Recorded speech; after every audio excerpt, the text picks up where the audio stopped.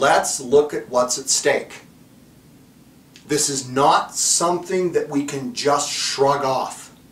It's going to cause issues. Even if you manage to shrug it off for a couple of years, then we want new carpet, new tile, new flooring, we're moving, we're going to have a new whatever, or we're just sick of the smell, we're sick of the, the uh, cost of having the, the carpets cleaned. We have to ask a terrible question. Can we keep this dog? And even though you've loved the dog, it's been your pet. You know, this you're, you're up against a really, really rough place. Now, there's a whole bunch of folks that are going to, you know, say, oh my gosh, you know, your responsibility to the dog. So, yeah, well, I'm here to assure you that I know where you're coming from. Um, I've heard it a lot.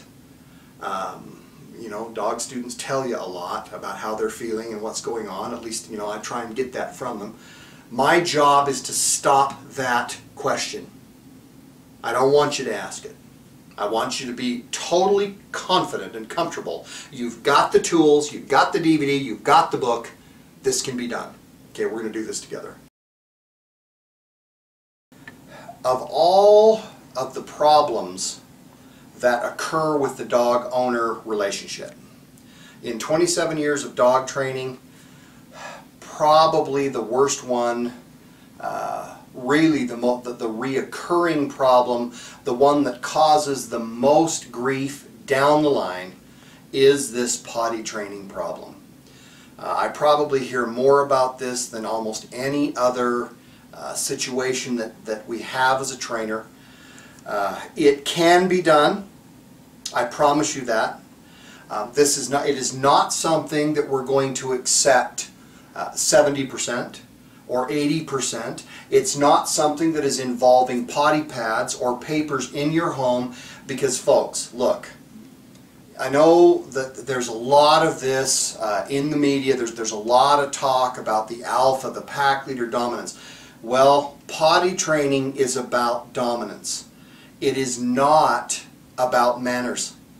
Dogs, many of my students are frustrated. They don't understand. Can't the dog understand what I want. You know, I mean, it's, it's just manners to go outside. I'm, I'm trying to take them out every 20 minutes. I'm trying to, the, the dog won't go. The dog plays around and then we come in the house, the dog goes in the house. Look, in many cases your dog does know what you want and they choose that they opt not to do that. That is a dominant situation. Dogs that are not, that have no idea, um, we're going to cover all of that. We're going to start and show and teach your dog and you about potty training. Now, why is potty training so important?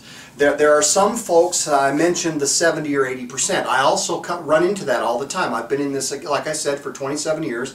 I've been in over 1,500 homes. You, you hear this, well, you know, things are okay um, every once in a while we have a potty accident um, downstairs. The dog goes downstairs. Um, whether it's the dog pees, whether the dog poops downstairs, whatever. You've got something that's going on and there'll be a set of circumstances where the dog acts out in this fashion. Now almost always, almost always, there will be a link between the potty problem and obedience. I can almost guarantee you that if you've got potty issues, you have issues with your obedience training as well.